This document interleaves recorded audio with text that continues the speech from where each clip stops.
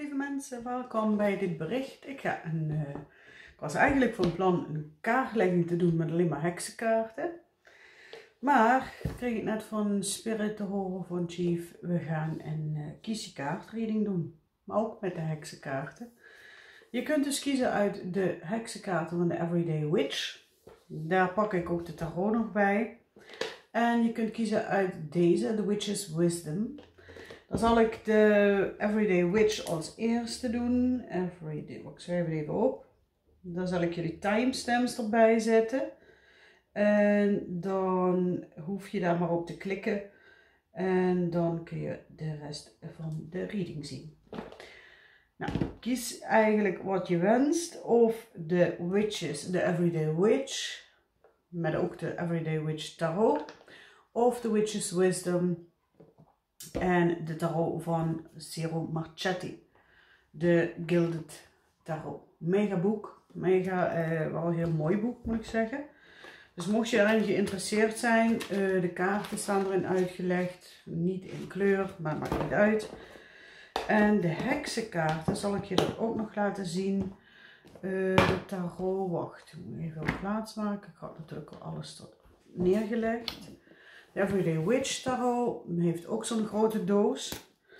En die hebben een heel mooi boek. Die hebben zelfs de kaartjes in kleur. En als ik me niet vergis, staat dat heel erg mooi uitgelegd. Uh, ook met stukjes voor aantekeningen te doen, uh, te maken. Dus dat is de tarot van de Everyday Witch van Deborah Blake. Als je afvraagt waar je dat krijgt, ik koop eigenlijk alles op Amazon. Die zijn snel, geen verzendkosten en klaar. Dus dat, uh, daar heb je het binnen twee dagen in huis en je geen verzendkosten te betalen. Maak daar een account aan en dat is het dan. Ik heb daar geen aandelen in, als dat maar waar. Maar uh, ja, gewoon een tip. Je kunt ze natuurlijk ook in Nederland bestellen bij Bolcom of bij uh, tarot.nl. Maar goed, ik bestel eigenlijk daar altijd. We gaan kijken voor de mensen die gekozen hebben voor de Everyday Witch. Even kijken, wat is dat? 2 minuten 30. Zo. Wat mag ik de mensen doorgeven die gekozen hebben voor de Everyday Witch? En dan heeft het eigenlijk te maken, uh, deze reading gaat dan eigenlijk over het stuk waar vanaf hu, vanaf, ik zeggen, dat is dialect, sorry. vanaf vandaag, um, nou, zo leer je ook nog dialect hier, hè. Uh, kerkraadsdialect wel te verstaan. Maar uh, wat gaat er vanaf vandaag gebeuren voor jou als jij gekozen hebt voor de Everyday Witch? Even kijken. Wat zit dan? Zitten we op drie minuten? Dan doe ik dat even af. Ja de Everyday Witch. Wat gaat er voor jou gebeuren vanaf vandaag?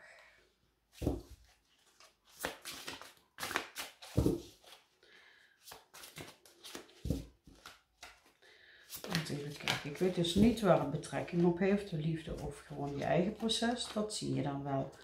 Affirmation for acceptance. Ik heb het gevoel dat jij je geaccepteerd hebt wat er eigenlijk speelt, wat er eigenlijk opgelost moest worden, dat het eigenlijk jouw lot was om hier iets te leren, om verder te komen in het leven. Maar je ziet dat ze eigenlijk, um, eigenlijk een beetje tegenslag heeft gehad. Kijk, een heksenbezem, uh, je vliegt daar, uh, daar zit eigenlijk het bezemstuk aan de voorkant. Dus eigenlijk zit ze verkeerd op die bezem, dus je hebt tegenslag gehad. Je hebt tegenslag gehad en het heeft veel te maken met moeizame stukken die je moest leren, de blokkades. Dus hier het negatieve, het donkere. Je moest iets um, begrijpen op met je verstand. Je moest iets dingen loslaten. Misschien was je iemand die heel veel in zijn hoofd zat, zijn of haar hoofd zat, dat je heel veel nadacht en dat je eigenlijk zoiets had van, kom het dan nooit op me af? De kaart, eh, de dobbelstenen zie je hier, de kaart 7 en 10 die, ja wacht, ik zal het dichterbij houden, de 7 en de 10, um, ehm, die hangen eraan vast. Maar je gaat de verkeerde kant op eigenlijk. Je gaat mm, de moeizame kant op. Dus 7 geeft aan van, ja, je mag meer gaan samenwerken met spirit. Waardoor jij dus ook naar die 10 gaat. Waardoor je dus ook de cirkel gaat draaien. Of het, het wiel gaat draaien en dat je uh, vooruit komt. Maar ik heb het gevoel dat je bepaalde dingen moet accepteren. Dat bepaalde dingen geleerd moeten worden. Dat je hier bent om iets te leren. Dat is in ieder geval, of dit ga je nu nog doen, of je hebt dat pas geleden gedaan. Dus dat, ligt even aan jouw situatie. Dit is een algemene reading. Ehm, je moet dus even kijken, ja, welk, welke fase zit je in. Dat kan ik natuurlijk niet beoordelen. Mocht je een persoonlijke reading willen, dat kan ook natuurlijk. Kijk even op mijn infobox. Um, we gaan even kijken naar de volgende kaart. Strength and Resilience. Dus je hebt hier wel kracht en moed getoond. En doorzettingsvermogen. Resilience is eigenlijk doorzettingsvermogen. Um, dat je uh, tegen die moeizame stukken opgewassen bent.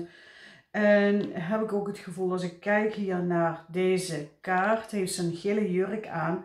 Voelt voor mij meer dat ze dus naar haar emoties luistert. Hier heeft ze een paarse jurk aan, dat ze meer in, in contact met spirit is. En de gele jurk geeft aan, ze uh, houdt er um, het overstok naar uh, de lucht. Ge, ge, ze wijst naar de lucht. Dus ik heb het gevoel dat ze heel veel inzichten krijgt van spirit, die eigenlijk heel veel um, Ehm, inzichten uh, brengen, waardoor ze dus nu die kracht heeft en het doorzettingsvermogen om naar een mooiere toekomst te gaan. En dan krijg je gratitude en thanks, dus dan krijg je die overvloed. Als je uh, in een andere mindset bent, in een positievere mindset, dus niet zozeer heel erg nadenken, hier dacht je dus heel veel na. En hier ben je dus daarmee aan het opruimen. Je bent dus die negatieve gedachten aan het opruimen door positieve gedachten, door inzicht, door kracht, door uh, doorzettingsvermogen, uithoudingsvermogen.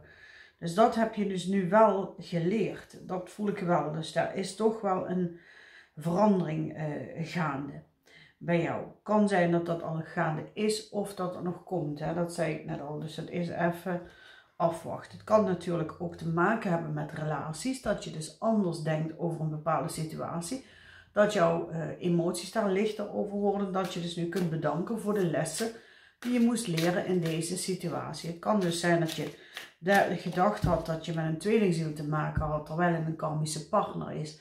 Maar dat voelt ongeveer qua lessen hetzelfde.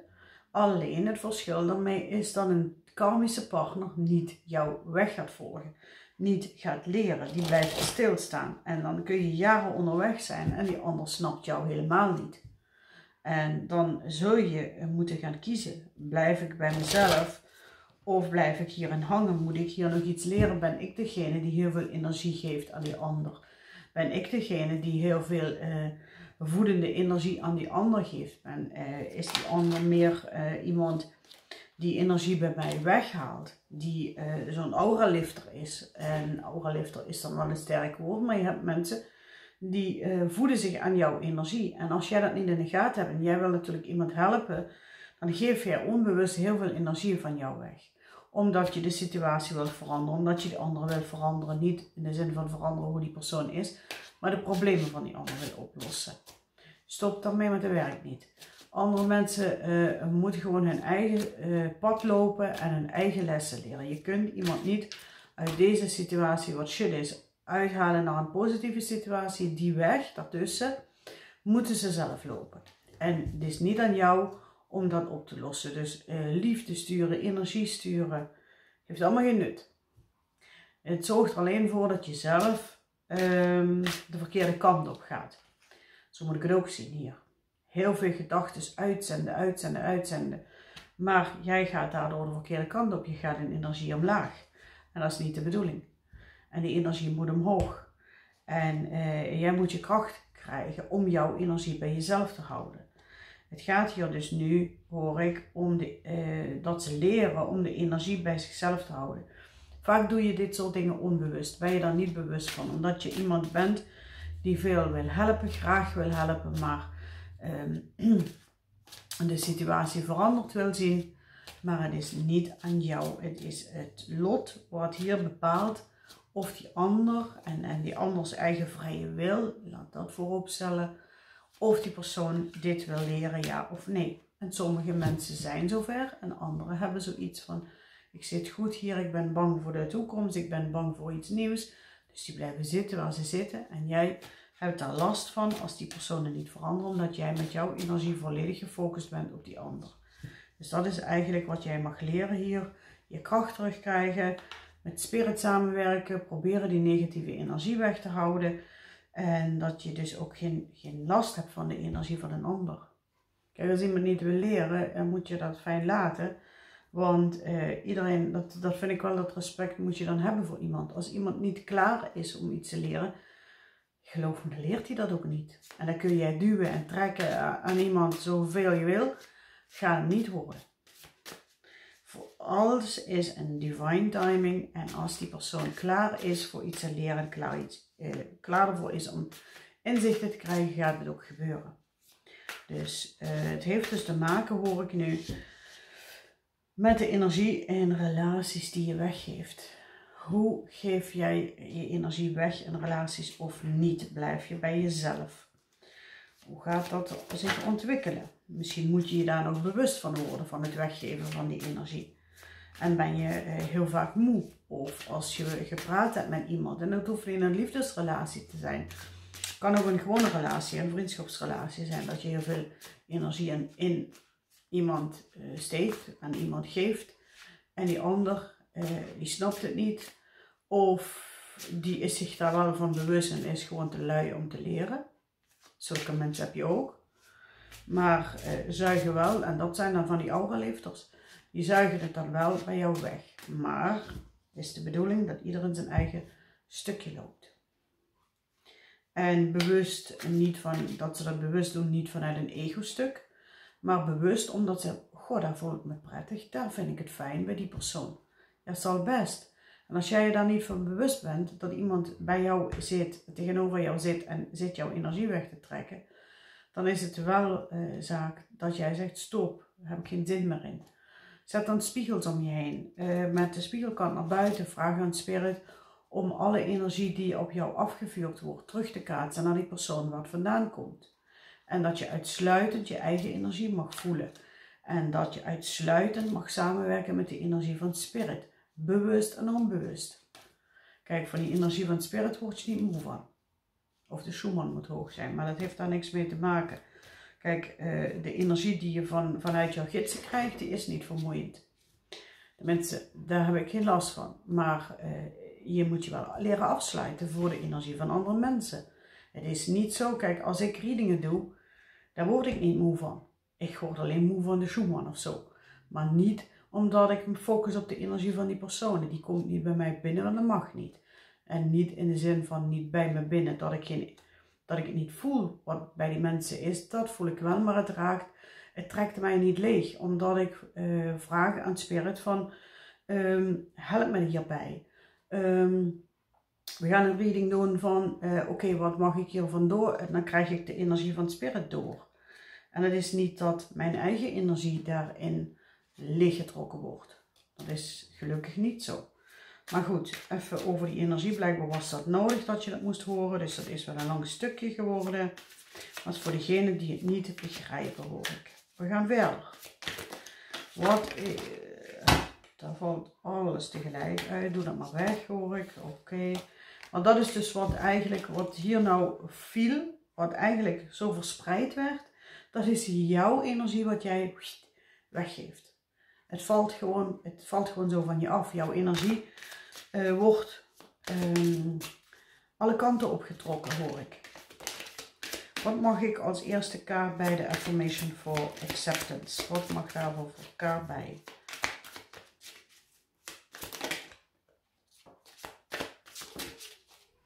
Oké, de zon. Het kan zijn dat jij al in hele positieve energie zit. Dan krijg je de Seven of Swords. Maar opeens pak jij al die zware energie weg. Uh, die zware energie op. Zeven van staven. Uh, zwaarde, sorry. Gedachtekracht. Hier valt eigenlijk heel veel uit. Dat gaan we niet doen. Dus jouw pure positieve licht wordt eigenlijk uh, gedimd doordat heel veel mensen bij jou energie tanken. Vijf van zwaarden. Je moet rusten, want je bent moe. Dus let daarop dat je accepteert dat jij. Ehm, ehm, wat mag je hiervan leren? Het staat namelijk, de kaart staat acceptance. Wat mag je affirmation for acceptance? Wat mag jij hier accepteren? Eigenlijk erkennen dat je dat doet. En misschien doe je dat wel bewust omdat je iemand wil helpen. En dat is meestal in een zielsrelatie, dat je iemand wil helpen de juiste kant op te knallen. Maar dat gaat hem niet worden. De strength and resilience, wat mag daarbij? De devil, je krijgt dus een keuze om een positieve kant op te gaan of de negatieve kant. En Edefons, er komt een verandering. Je gaat die energie veranderen. Dus die zware energie, wat je hier zag. Wacht even. Die gaat dus veranderen. Het wordt een lange reading. Heb ik in de. Maar dat was nodig ik, want sommigen hebben niet in de gaten dat ze heel veel energie weggeven. In vriendschappen als ook in de liefde. Ace of Swords. Dus je laat jouw energie niet meer bevuilen door de energie van anderen. De aas van, sta, van zwaarden. Dus er komt een nieuw, nieuw begin. En je ziet eigenlijk ook weer het stuk met de lucht dat hier iets geklaard is. Dat jij die moeizame, kan ook zijn, weet je, dat je heel, dat je, dat je contact hebt met iemand en die heeft heel zwaar op de hand liggende gedachten kan dus zijn dat jij dan ook zwaar op de hand wordt en zware gedachten hebt. En dat is dus niet van jou, dat is dan van de ander. En dat is wel wat je mag leren om dat te filteren. Van wie is dit? Wat voel ik nu? Uh, kijk, als je plotseling een verandering merkt in jouw energie, dan is het de bedoeling dat je daar eens naar gaat kijken. Want dan heeft die energie, als je contact met iemand hebt gehad, en dat kan zelfs via WhatsApp, dat kan zelfs via de mail, kun jij dus, omdat je misschien onbewust heel erg graag wil helpen, dan is het zaak om te vragen, mag ik uitsluitend helpen als mensen erom vragen en uitsluitend met de energie van spirit. Als je dat niet doet, dan ben je dus het helpen met jouw eigen energie en dan word je moe. Dat is niet de bedoeling natuurlijk. Gratitude and thanks, waar heeft het mee te maken? de lovers. Dus het heeft te maken met de liefde ook nog. Daar gaat dus iets veranderen. Daar mag een nieuw begin komen. Page of Swords. Uh, er worden dingen besproken. Doordat je dit geheeld hebt en echt die oude zware energie opgelost hebt. Het kan ook zijn dat er nog karma opgelost is doordat kaart dat je iets geaccepteerd hebt, dat je iets moest oplossen voor anderen. En dat, als dat familiekarma is, heb ik uh, een reading over gemaakt net. Die staat in niveau 1 helaas, dus dat is niet voor iedereen zichtbaar. Maar um, dan kun je daar natuurlijk ook last van hebben. Page of Swords, de page van zwaarden. En heeft te maken met de kaart de dood. De dood is voor velen, die schrikken daarvan. Ik niet. Ik heb zoiets van, weet je, er wordt iets afgesloten en dan begint een nieuw hoofdstuk. Dus daarvoor de geliefde begint daar een nieuw hoofdstuk. En, um, en ook de Two of Swords, dus die twijfel wat je gehad hebt. Maar eigenlijk, je ziet dat zij uh, geblinddoekt is en wil toch die pijl gooien. Dus ik heb wel zoiets. Ze heeft dan toch het vertrouwen erin, ook al weet ze nog niet wat ze moet doen. Eh, maar hier komt dan de koning van zwaarden. Dus er komt toch een balans in dat eh, stukje wat je niet wist wat je moest doen. Komt toch een verandering. Dus doordat je nu vertrouwt erop dat alles de juiste kant op draait. Nee, dat is te veel. Er vielen er vier uit. Je mag één overal kaart nu nog geven, hoor ik. Dus ik ga dat doen. Oké, dat vliegt eruit. Wat vliegt er dan uit? De ster. Dat betekent dat er dus duidelijkheid komt in jouw hele wezen en dat je de verbinding met spirit aangaat en balans bent met jezelf. Dus dat is wat hier nu naar voren komt. Dus ook al heb je veel energie weggegeven in het verleden is dat zich nu wel aan het manifesteren tot een positief iets. Ik ga dit even opruimen, ik zet hem even op pauze en dan kom ik zo bij je terug voor uh, nummer 2. Zijn we weer. Nummer 2, als je gekozen hebt voor de Witch, Witch's Wisdom, de heksenwijsheid. De heksenwijsheid. Als je gekozen hebt voor de heksenwijsheid, wat mag ik deze mensen doorgeven? Chief. Rust hoor ik. Rust. Duidelijkheid. Intention. Staven. Toverstaf. Prosperity.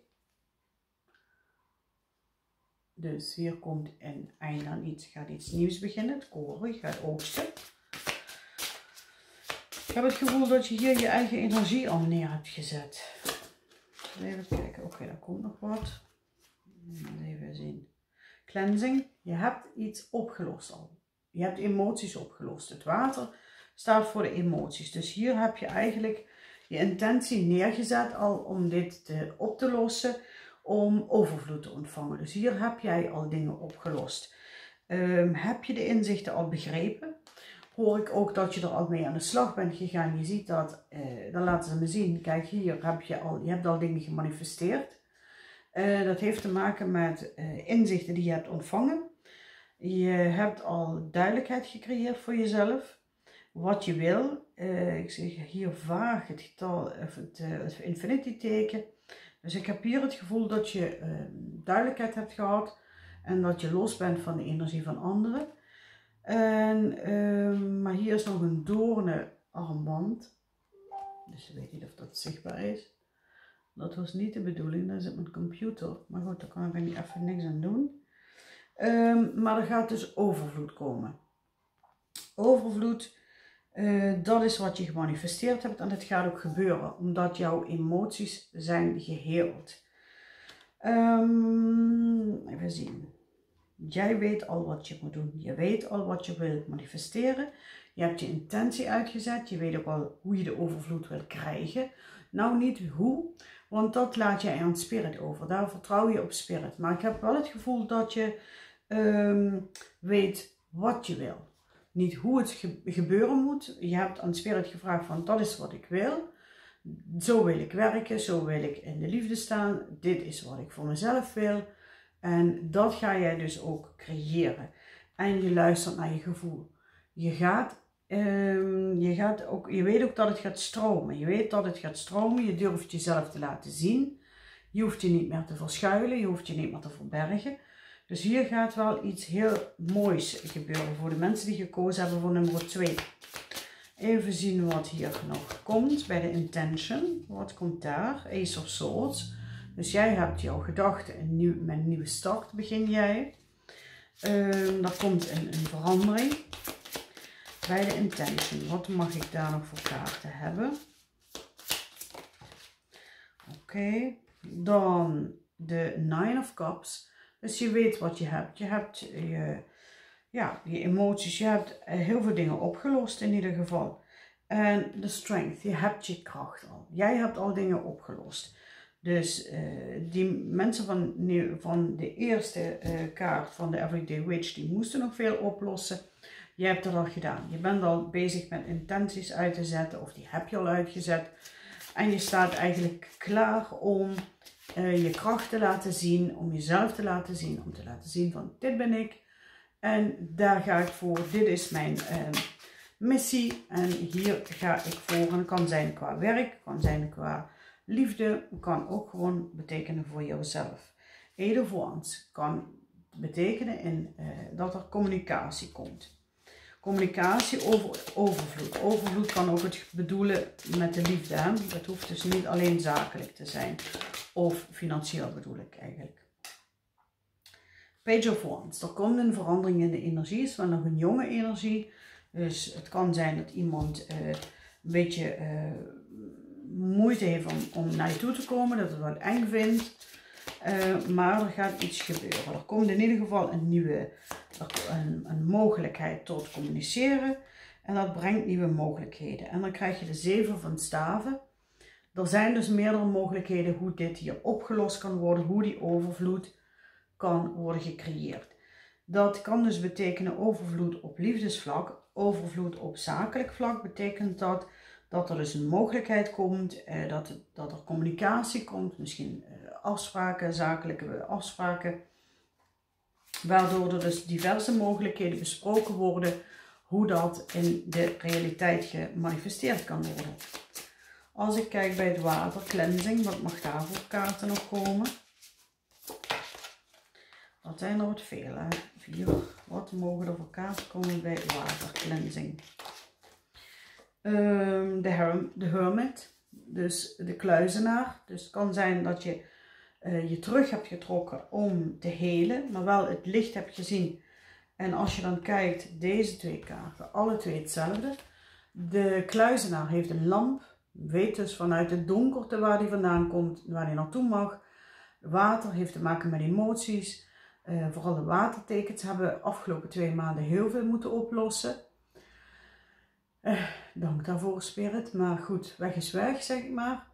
En jij durft jezelf nu te laten zien en je laat het op je afkomen. En ook hier weer die stroming, hè? dat licht dat je gevonden hebt vanuit die donker, vanuit, de, vanuit dat donker. Komt er dus licht op je pad. Kijk, je ziet haar nog in het donker staan. Maar zij heeft het begrepen. Daar gaat het ook stromen. Wat mag bij de cleansing water nog meer komen? De Two of Pentacles, er komt balans, stabiliteit, ook op financieel vlak. Maar er wordt iets in de realiteit gezet, hoor ik. En als je nog niet precies weet wat dat moet zijn, betekent dat wel dat hier van twee mogelijkheden dat hier iets geheeld wordt. Worden dingen komen naar voren. En de Queen of Pentacles betekent, het heeft toch echt wel met financiën te maken ook hoor. Want pentakels, dat zijn de kaarten, de munten van uh, de financiën. En hier gaat dus iets stromen. Je hebt misschien in dat verleden, in hier de, de hermit, zie je die, die slang daar. In dat kluizenaarstuk waar je niet hebt getoond, heb je dingen opgelost die al heel lang speelden. Misschien familiekamer. En de twee van pentakels betekent dat er een balans is gekomen. Dat je weet hoe je dat moet oplossen. En de Queen of Pentacles die geeft aan van ja, jij weet wat je hebt, je weet wat je wilt. En je weet ook hoe je die overvloed kunt krijgen. Maar je hebt ook, de koningin is ook een kaart van, je hebt je emoties op orde. Je hebt je rust gevonden. Je hebt je rust gevonden, je kunt rustig blijven zitten. Je weet, het komt naar je toe. Je hoeft daar eigenlijk niet veel voor te doen, want je hebt al alles opgelost wat nodig was om van alles naar je toe te laten stromen wat voor jou van toepassing is. Dat kan dus zijn op het gebied van de liefde. Het kan ook betekenen op het gebied van uh, financiën. Het kan ook allebei betekenen. Mag ik nog een uh, wat duidelijkingskaart, een samenvattingskaart.